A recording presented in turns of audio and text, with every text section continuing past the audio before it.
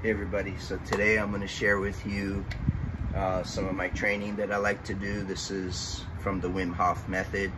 Uh, I had a chance to meet Wim Hof a few years ago when uh, I was speaking at an event where he was the keynote speaker and uh, really we got along great. He's a remarkable human being um, and there's many different breathing type of methods but uh, due to the popularity of Wim Hof, we've seen over the last several years many different breathing programs come out. So uh, he's definitely the, the person most responsible for the popularity of breathing. And there's differences of opinion. Uh, the Wim Hof method uh, utilizes more of a power breathing, which is inspired from yoga traditions where it's there's certain schools of thought that say you have to breathe through the nose. Um, I don't follow dogmatic teachings. I think any teacher who's dogmatic and says you must do this way or there's only one way, they're generally, uh, it's coming from ego and they're generally not that experienced because there's always more than one way and there's different applications. Anyway, I did um, several rounds of deep breathing. I did uh, four rounds of deep breathing. We do about 30 to 40 breaths of it. And then I did the exercises after. So now I'm gonna go into the ice bath and I'm just gonna let you guys observe that.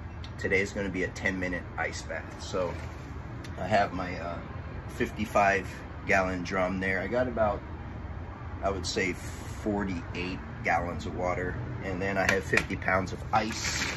So I'm gonna put the ice in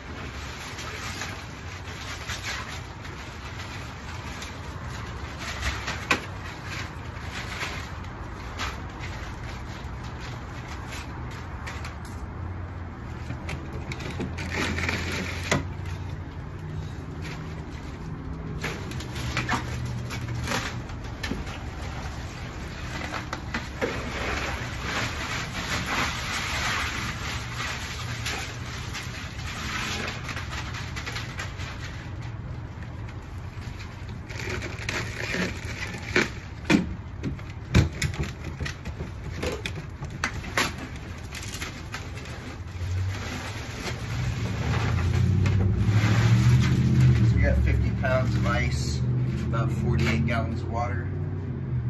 It's gonna be a 10 minute, got my timer. Oh yeah.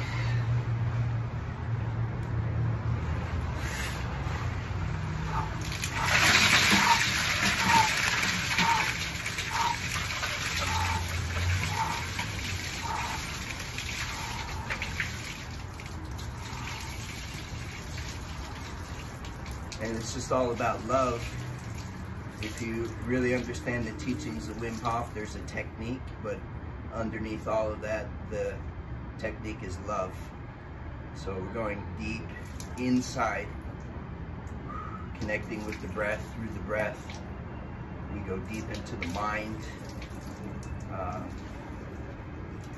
Wim was the, really the first person, definitely the first person to validate scientifically the power and efficacy of the deep breathing with the cold immersion.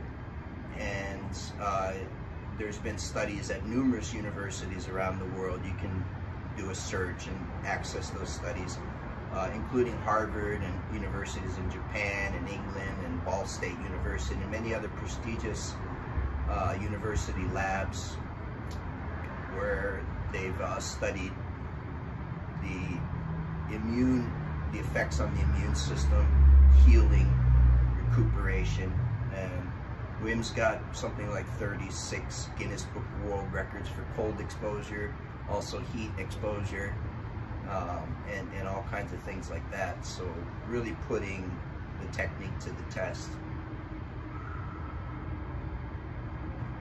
Now, I'm gonna just keep this playing. If you don't have time, you don't need to sit here for the whole uh, 10 minutes, but I'm gonna be here for 10 minutes and I'm gonna record the whole thing just so you know that it's legit and there's no faking.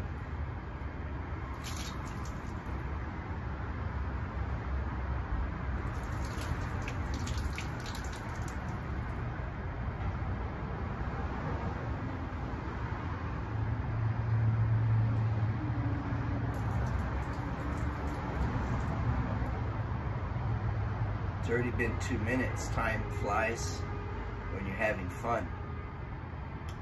And I saw recently uh, Wim, Wim Hof had the question, does he ever get a cold or when was the last time he had a cold? And he said he can't remember and he thinks he doesn't get colds because he goes into the cold, he goes to the cold so the cold doesn't have to come to him. And I like that. So um, this is a great practice for for uh, strengthening your immune system. And it has to do with, if you look into the research of it, uh, it has to do with the alkalinization. That's a big part of it. So the, out, the, the alkalinization of the blood. Whereas uh, biologic, biology, uh, or I should say the, the human body and the life that we have on earth, it exists within a pretty narrow range of uh, acid alkaline balance, what's called the pH scale. And so 0.7 is the neutral. And as you go above 0.7, it gets more alkaline. And as you go below 0.7, it gets more acidic. And so what we want is to bring the body to a more alkaline state and to reduce acidity. And the reason for that is because uh, disease cannot exist in an alkaline environment. So disease uh, foments in acidic environments. And so uh, most of our environment draws us into a more acidic. So we're looking at the foods that we eat, uh, fried foods, processed foods, uh, animal proteins, uh, especially if you're eating a lot of like red meat and things like that, they're, they're going to be more acidic. Uh, alcohol, drugs, nicotine, uh, stress, uh, environmental toxins, there's many. Um, traffic, lots of noise, electromagnetic energy, it's all around. So all of these uh, environmental factors create a more acidic environment in the body. And if we don't maintain balance, we move more to an acidic state within the blood, within the blood chemistry, and that forms a breeding ground for our uh, for disease to, to form. And so we can we can combat that by bringing us into an acidic state. Uh, deep breathing, uh, cold immersion is some of the more powerful ways. Also, nutritionally, we can eat more alkaline foods, more uh, water content foods, vegetables, fruits, drinking water instead of soda, instead of beer, things like that. Uh, I'm not saying you shouldn't eat tacos or drink beer, but balance. And, you know, even just um, reducing your stress, so thinking, thinking uh, more pleasant thoughts, training your mind, mental discipline, not to get fixated on negativity, uh, anxiety, uh, fear. These things create an acidic environment. And what occurs in the body is inflammation. And so when we have injuries or just an inflammatory condition from not being in good health, that inflammation is a response, is a physiological response to a more acidic condition. And so therefore, as we can bring the body more away from the acidity and more towards alkaline, we reduce the inflammation. Okay, so really, you are responsible for taking care of your health. Um, yes, it's a blessing to have good health. It comes from source, however you want to name that. And so it is a blessing, something to be grateful for. But we are not, uh, we have consciousness, so we are not uh, powerless to influence our own health through conscious action. And, you know, this is one of the best things you can do.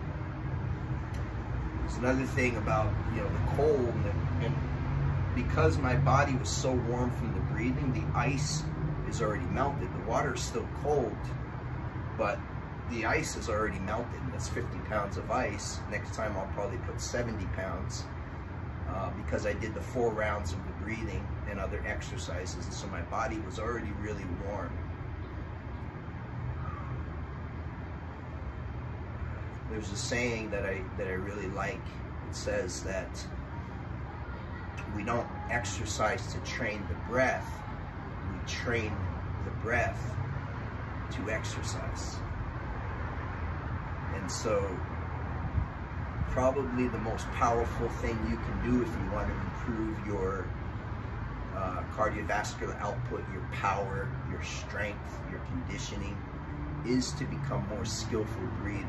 The more skillful you are at breathing, the more efficient you will be with utilizing your energy. You'll be able to uh, conserve more energy and not waste or use as much energy. And then you combine that with conditioning exercises like kettlebells and other fantastic training methods, then you're really hitting it from all sides. You're getting the, the muscular aspect through the training, but you're getting the deep cellular conditioning and training through the deep breathing.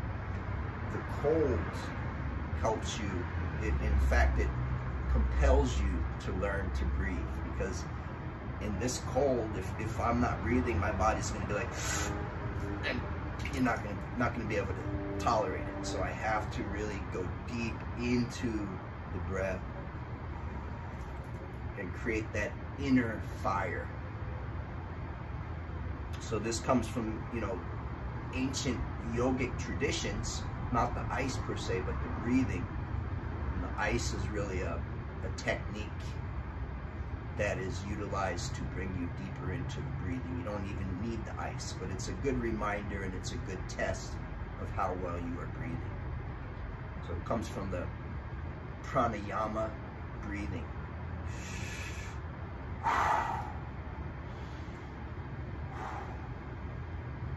So just thanks for being here with me, engaging. It made the time go by really fast. So I'm already nine and a half minutes in.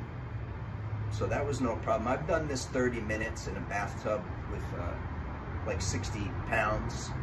So 10 minutes is not that long, but that's that's my assignment for this week. Following a prescribed program, a Wim Hof program. So for this week, it's a 10 minute. And it's just amazing.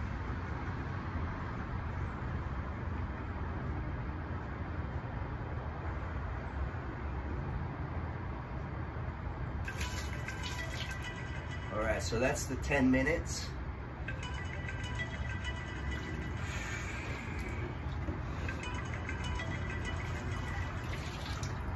I hope that was somewhat instructive for some of you. Thanks for joining. I'll keep you updated.